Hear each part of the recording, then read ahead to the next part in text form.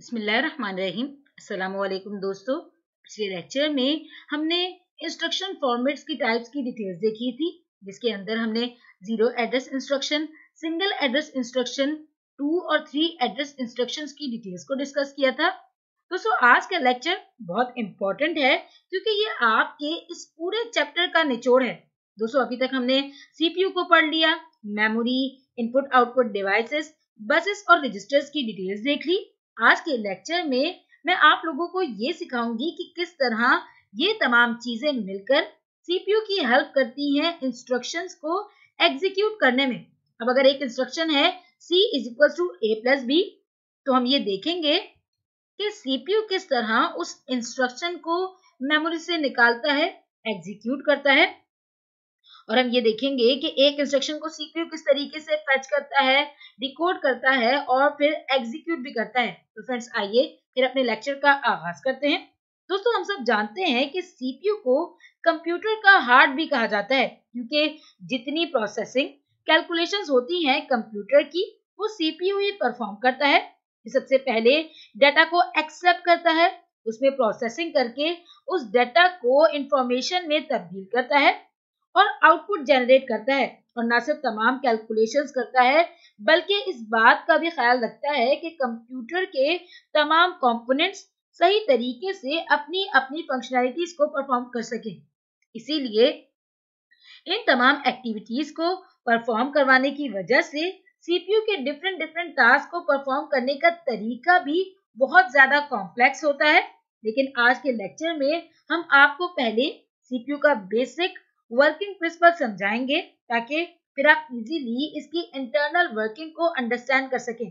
तो फ्रेंड सबसे पहले ये मान लें कि यहाँ एक सिस्टम है जो कि 16 बिट का है और 16 बिट सिस्टम की मानी है कि उसमें जितनी भी इंस्ट्रक्शंस को सीपीयू एग्जीक्यूट कर सकता है, वो भी 16 बिट की ही होंगी। और सीपीयू हर एक इंस्ट्रक्शन को एज्यूम करता है वर्ड की शक्ल में, यानी यहाँ हर एक वर्ड 16 बिट का है। अब सीपीयू मेमोरी से एक वर्ड एक इंस्ट्रक्शन को पहले निकालता है, उसे एग्जीक्यूट करता है, यानी CPU one by one instructions निकालता है एग्जीक्यूट करता है।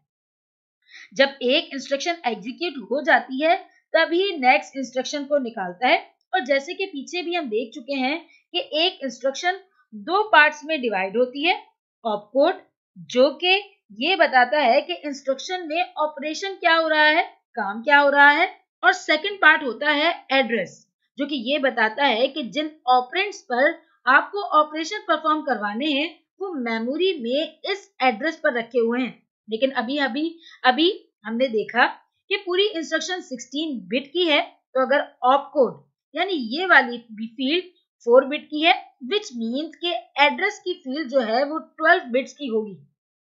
और अगर आप इन बिट्स की मदद से यानी इन 12 बिट्स की मदद से अपनी मेमोरी का साइज़ निकालना चाहें तो वो होगा 2 exponent 12 which is 4096 in short आपकी मेमोरी में 4096 लोकेशंस मौजूद हैं और एक लोकेशन पर आप 12 बिट के डाटा को स्टोर करवा सकते हैं। यानी आपकी मेमोरी का साइज़ हुआ 4K बाइट फ्रेंड्स यहाँ तक हम बात हो गई है इंस्ट्रक्शन की इंस्ट्रक्शन के साइज़ की, उनके फॉर्मेट्स की और साथ के साथ आपके कंप्यूटर के मेमोरी की साइज़ की भी।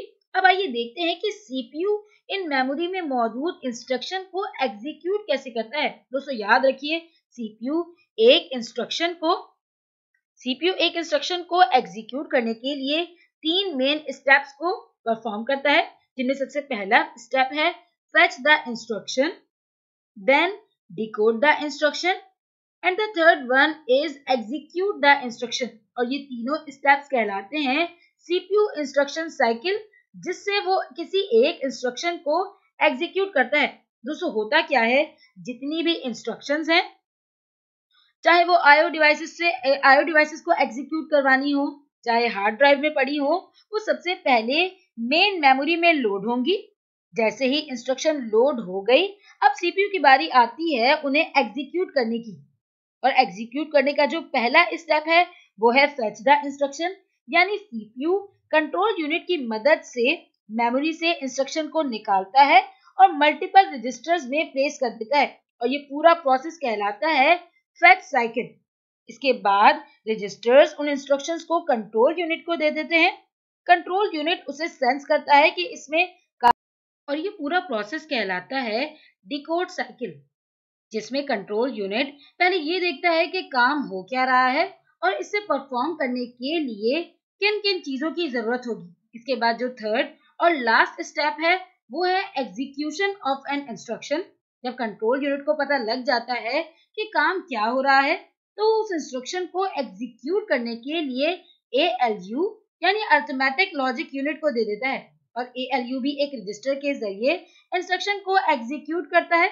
इस तरह ये प्रोसेस कहलाता है एग्जीक्यूट साइकिल जिसमें एक इंस्ट्रक्शन एग्जीक्यूट होती है और उसका रिज़ल्ट निकल आता है। अब आइए इस पूरे प्रोसेस को प्रैक्टिकली डायग्राम के थ्रू समझते हैं। दोस्तों, यहाँ ये बॉक्स है सीपीयू जिसके दो मेन कंपोनेंट्स हैं कंट्रोल यूनिट और अर्थमेटिक लॉजिक यूनिट और कंट्रोल यूनिट और अर्थमेटिक लॉजिक यूनिट के दरमियान लगा हुआ है एक register which is accumulator register और एक्यूमुलेटर रजिस्टर यूज़ होता है रिजल्ट्स को स्टोर करने के लिए, जो कि कंट्रोल यूनिट और अर्थमेटिक लॉजिक यूनिट से आ रहे होते हैं। इसके बाद राइट साइड की तरफ़ कुछ रजिस्टर्स हैं, जिनमें सबसे पहला है पीसी यानी प्रोग्राम काउंटर जिसमें नेक्स्ट इंस्ट्रक्शन जो कि सीपीयू को फेच करनी होती है उसका एड्रेस मौजूद होता है। इसके बाद है memory address register which is called M A R जिसमें जो इंस्ट्रक्शन सीपीयू को एग्जीक्यूट करनी होती है, उसका एड्रेस पड़ा होता है। और इसके बाद है एम डी आर यानी मेमोरी डाटा रजिस्टर जिसको आपकी बुक में मेमोरी बफर रजिस्टर भी कहा गया है। दोस्तों मेमोरी डाटा रजिस्टर के अंदर जो भी मेमोरी एड्रेस रजिस्टर के अंदर एड्रेस पड़ा होगा। उस एड्रेस पर जो भी वैल्यू मेमोरी में होगी मेमोरी उसको प्लेस कर देगी इस एम डी आर रजिस्टर में। और उसके बाद है कंट्रोल करंट इंस्ट्रक्शन रजिस्टर यानी सी आई आर रजिस्टर जिसको आपकी बुक में इंस्ट्रक्शन रजिस्टर भी कहा गया है, जिसमें जो इंस्ट्रक्शन कंट्रोल यूनिट को देनी होगी एग्जीक्यूट करने के लिए वो इंस्ट्रक्शन मौजूद होगी। ये तो हो गया रजिस्टर्स जो कि आपके सीपीयू में ही होंगे। और सीपीयू में रजिस्टर्स इसीलिए रखे जाते हैं ताकि सीपीयू की प्रोसेसिंग फास्ट हो सके। यानी सीपीयू को बार बार खुद से मेमोरी के पास ना जाना पड़े। उसके पास रजिस्टर्स मौजूद हो, उसके अंदर डाटा पड़ा हुआ हो, वो मेमोरी से डाटा को निकालने के बजाय डायरेक्ट इन रजिस्टर्स के ज़रिए डाटा को एक्सेस कर लेगी यानी इसको इतनी दूर मेमोरी के पास जाना नहीं पड़ेगा। इसके बाद है राइट हैंड साइड पर मेमोरी जिसमें तमाम इंस्ट्रक्शंस पड़ी हुई हैं और अब हम इन इंस्ट्रक्शंस को फेच करेंगे देन डिकोड करेंगे और आखिर में एग्जीक्यूट करके रिज़ल्ट मेमोरी में रख देंगे। तो फ्रेंड्स आइए देखते हैं कि इंस्ट्रक्शन को फेच किस तरीके से कर, किया जाता है। अब सबसे पहले क्या होगा? प्रोग्राम काउंटर में नेक्स्ट इंस्ट्रक्शन का एड्रेस रखा होगा, जो कि सीपीयू को फैच करनी होगी। और इस केस में जो पहली इंस्ट्रक्शन आपको मेमोरी में नज़र आ रही है वो है हंड्रेड लोकेशन पर, यानी ये वाली इंस्ट्रक्शन। अब क्या होगा? अभी सीपीयू के पास कोई इंस्ट्रक्शन नहीं है तो जो पहली इंस्ट्रक्शन का एड्रेस है, वो है प्रोग्राम काउंटर में विच इज़ हंड्रेड अब सीपीयू इस इंस्ट्रक्शन को फेच करना चाह रहा है, यानी सीपीयू अपनी इंस्ट्रक्शन की फेचिंग स्टार्ट करना चाह रहा है तो सबसे पहले प्रोग्राम काउंटर में जो एड्रेस होगा वो रख देगा मेमोरी एड्रेस रजिस्टर में, यानी अब एम ए आर रजिस्टर में आ गया है हंड्रेड मेमोरी एड्रेस रजिस्टर क्या करता है? जो भी एड्रेस उसे मिलता है, वो मेमोरी को दे देता है और मेमोरी उस एड्रेस पर जो भी कंटेंट्स होते हैं, वो डाल देगी मेमोरी डाटा रजिस्टर में।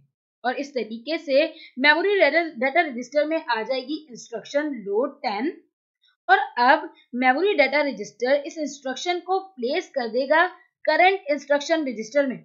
Then current address register sorry current instruction register इस इंस्ट्रक्शन को दे देगा कंट्रोल यूनिट को। और जैसे ही current address register control unit को इंस्ट्रक्शन देगा प्रोग्राम काउंटर की वैल्यू में वन का इंक्रीमेंट हो जाएगा। तो प्रोग्राम काउंटर की वैल्यू अब हो जाएगी 101 और 101 एड्रेस है नेक्स्ट इंस्ट्रक्शन का। जो कि सीपीयू को फैच करनी है। दोस्तों, यहाँ हमारी फैच साइकिल कंप्लीट हो गई। यानी इस तरह सीपीयू मेमोरी से एक इंस्ट्रक्शन को रजिस्टर्स की मदद से निकालता है। अब जैसे ही करंट इंस्ट्रक्शन रजिस्टर इंस्ट्रक्शन को देगा कंट्रोल यूनिट को तो कंट्रोल यूनिट उस इंस्ट्रक्शन को डिकोड करेगा कि इसमें क्या काम हो रहा है। अगर हम इस इंस्ट्रक्शन को देखें तो यहाँ डिकोड करने पर कंट्रोल यूनिट को ये पता लगेगा कि एड्रेस 10 पर मौजूद वैल्यू को लोड करना है, यानी कि लाना है। तो कंट्रोल यूनिट सबसे पहले उस एड्रेस को दे देगा मेमोरी एड्रेस रजिस्टर को।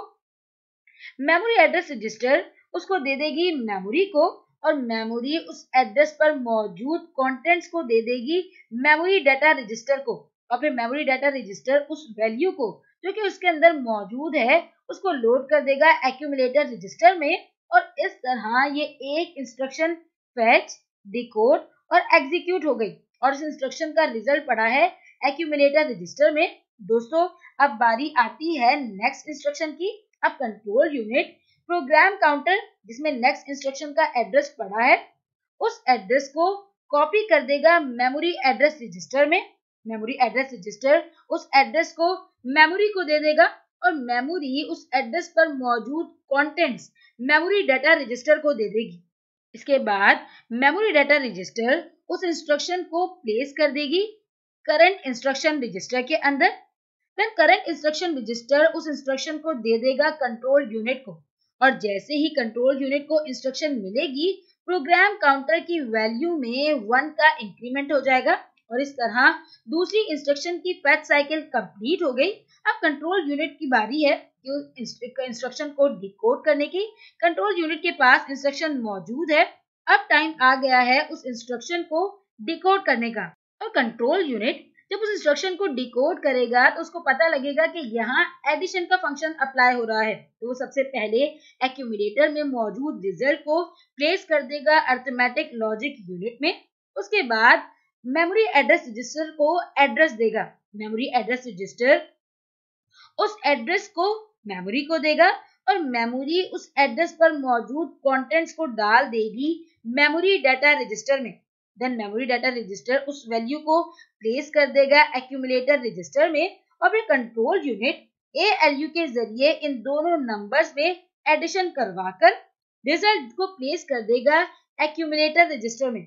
और दोस्तों, इस तरह हमारे पास ये दूसरी इंस्ट्रक्शन भी एग्जीक्यूट हो गई। और उसके बाद अब हमारे पास रिज़ल्ट मौजूद है, जिसको हमें मेन मेमोरी के अंदर डालना है। तो एक्यूमुलेटर इस रिज़ल्ट इस रिज़ल्ट को, यानी इस डाटा को पहले देगा मेमोरी डाटा रजिस्टर को, इसके बाद मेमोरी डाटा रजिस्टर इस रिज़ल्ट को, यानी इस डाटा को दे देगी मेमोरी को। और दोस्तों, इस तरीके से सीपीयू इंस्ट्रक्शन को फैच करता है डिकोड करता है और एग्जीक्यूट करता है। आइए, अब हम इसकी ओवरऑल समरी को देखते हैं। सबसे पहले प्रोग्राम काउंटर में नेक्स्ट इंस्ट्रक्शन का एड्रेस पड़ा है। कंट्रोल यूनिट उस एड्रेस को कॉपी करेगा। मेमोरी एड्रेस रजिस्टर में और मेमोरी एड्रेस रजिस्टर उस एड्रेस को मेमोरी को दे देगा। फिर मेमोरी उस एड्रेस पर मौजूद वैल्यू यानी कंटेंट्स को डाल देगी। मेमोरी डाटा रजिस्टर में और मेमोरी डाटा रजिस्टर अपने डाटा को कॉपी करके प्लेस कर देगा। करंट इंस्ट्रक्शन रजिस्टर में। और याद रखिए करंट इंस्ट्रक्शन रजिस्टर वो इंस्ट्रक्शन रजिस्टर होता है जो कि अपनी इंस्ट्रक्शन को कंट्रोल यूनिट को देगा। और करंट इंस्ट्रक्शन रजिस्टर उस इंस्ट्रक्शन को दे देगा कंट्रोल यूनिट को। तो ये कहलाएगी fetch cycle then control unit उस इंस्ट्रक्शन को डिकोड करेगा which is called decode cycle अगर उस इंस्ट्रक्शन में कोई अर्थमेटिकल या फिर लॉजिकल ऑपरेशन परफॉर्म हो रहा होगा तो उसे परफॉर्म करवाएगा अर्थमेटिक लॉजिक यूनिट से। और फिर उसका रिज़ल्ट स्टोर करवा देगा। एक्यूमुलेटर रजिस्टर में ये कहलाएगी एग्जीक्यूट साइकिल इस तरह सीपीयू इंस्ट्रक्शन को फेच डिकोड और एग्जीक्यूट करता है।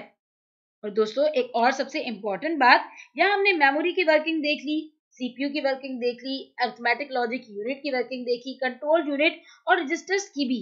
लेकिन यहाँ एक और इम्पोर्टेंट कॉम्पोनेंट भी यूज़ हो रहा है विच आर बसेस दोस्तों, ये जो हमने मेमोरी एड्रेस रजिस्टर में एड्रेस डाल रहे हैं उसके बाद उस एड्रेस को मेमोरी को दे रहे हैं। इसी तरीके से control unit memory address register को दे, रहा है।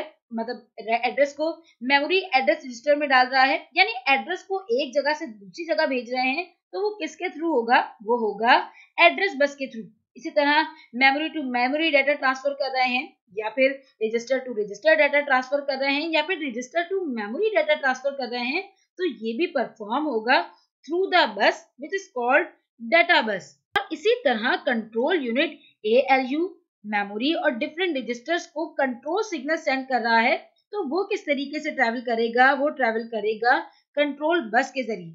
और फ्रेंड्स इस तरह आज के लेक्चर में हमने ये सीखा कि सीपीयू किस तरह काम करता है।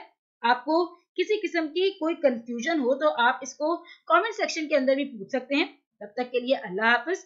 और नेक्स्ट लेक्चर के अंदर हम एक नया टॉपिक का आगाज़ करेंगे। जिसका नाम है स्टैक दोस्तों, हम पीछे भी स्टैक को कई दफ़ा पढ़ चुके हैं, लेकिन इस टॉपिक के अंदर जो हम अगले लेक्चर में कवर करेंगे, इसके अंदर हम स्टैक को डिटेल में पढ़ेंगे। ये होता क्या है, इसको काम किस तरीके से करते हैं? तब तक के लिए अल्लाह हाफिज।